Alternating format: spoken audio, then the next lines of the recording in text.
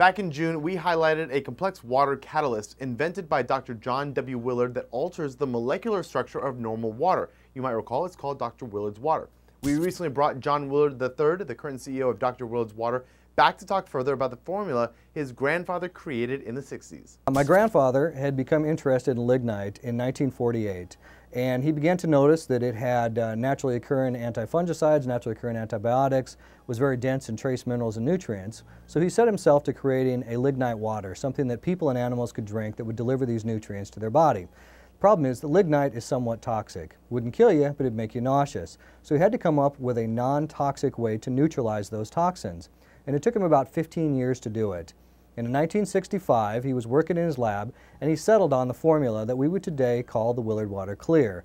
And in November of this year, Dr. Willard's Water will celebrate its 50th year of production. They'll also be celebrating their 35th year anniversary since 60 Minutes aired a special on the formula. After that story went out, that story came out in November of uh, 1980.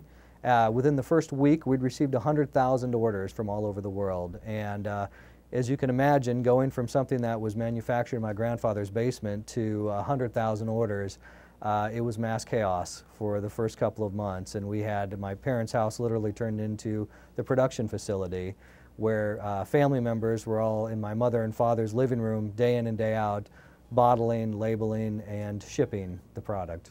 In the past 50 years, Dr. Willard's Water has had some remarkable product achievements. From creating the original line to one for animals to another for agriculture, it's all come to a head with a new study conducted by South Dakota State University focusing on plant and harvest benefits. What we found was that the Dr. Willards had a very significant impact on plant growth and yield. We found that it significantly increased germination rates into the double digits, we found that plants grew significantly faster with the introduction of the Dr. Willards, and we also found very significant increases in yield.